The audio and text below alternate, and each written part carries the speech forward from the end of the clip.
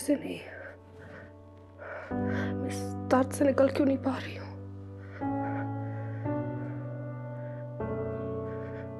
मैं पागल हो जाऊँगी। पागल हो जाऊँगी।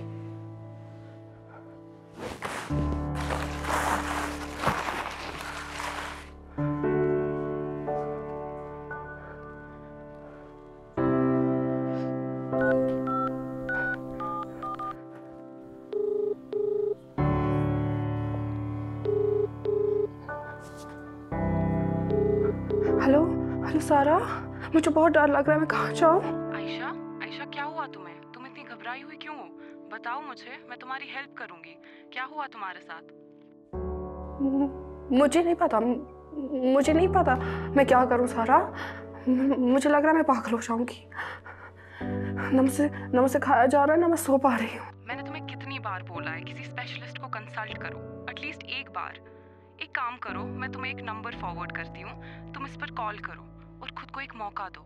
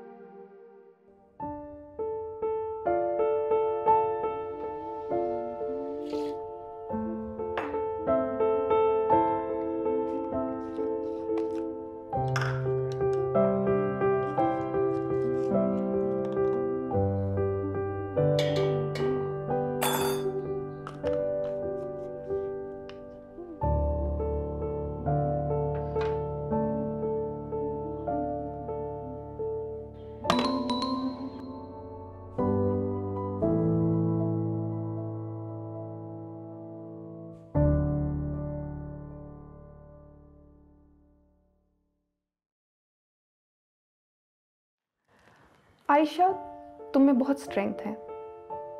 और मुझे यकीन है कि तुम इससे निकल जाओगी। मिल के काम करते हैं ताकि तुम अपनी ज़िंदगी का मकसद पा सको और अपनी ज़िंदगी को जी सको। मैं इस अंधेरे से बाहर आना चाहती हूँ। मैं बहुत तंग हो गई हूँ। दर्द को तस्लीम करने से ही मर्ज से लड़ने की ताकत मिलती है। और यही से सेहतयाबी की शुरुआत होती है। तुमने आर्ट थेरेपी के बारे में सुना है? सुना तो है लेकिन मैं कुछ जानती नहीं हूँ। आर्ट थेरेपी के ज़रिए से हम अपने इमोशंस और एक्सपीरियंसेस को क्रिएटिवली एक्सप्रेस करते हैं। और कई लोगों ने इसके ज़रिए से अपने आप को जाना और पाया है। तुम करना चाहोगी? हाँ ठीक है। मैं ये करूँगी। मैं कोशिश करूँगी।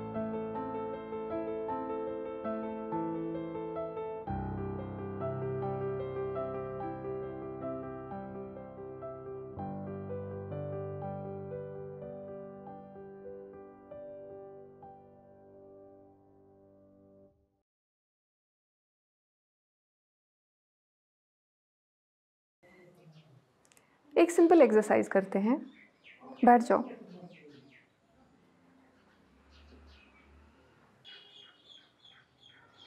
आराम से बैठ जाओ। रिलैक्स अपनी आँखें बंद करो। रिलैक्स लंबी सांस लो। ब्रीद इन सांस छोड़ो। Relax breathe in breathe out relax.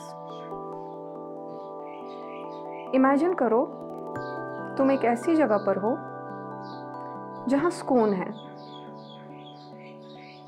तुम एक ऐसी जगह पर हो जहाँ सुकून है। तुम इमेजिन कर पा रही हो। एक ऐसी जगह जहाँ मैं आज़ाद हूँ इस सबसे दूर। नाइस तुम आँखें खोल सकती हो। अब अपनी इमेजिनेशन को इस कैनवस पर ड्रॉ करो।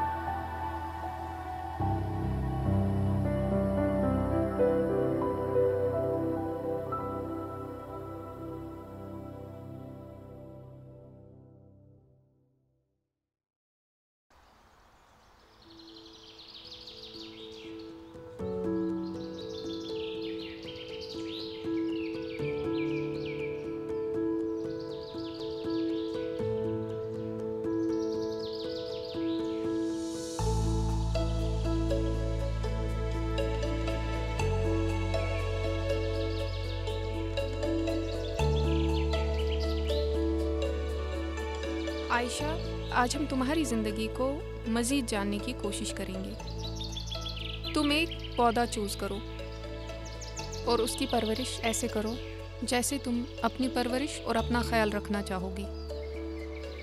मैं इस पौधे का ख्याल रखूँगी और इस दौरान खुद का भी ख्याल रखूँगी। गुड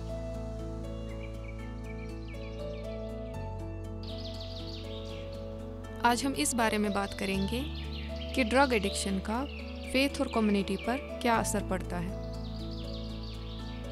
अच्छा ये बताओ, मज़हब के दायरे में तुम अपने आप को कहाँ पाती हो? मज़हब तौबा सिखाता है और मैं लाइफ के उस स्टेज पे हूँ जहाँ पे मैं खुद के लिए तौबा कर रही हूँ। और मुझे लगता है ये सबके लिए एक सीख है। जितनी जल्दी हो सके तौबा कर लो।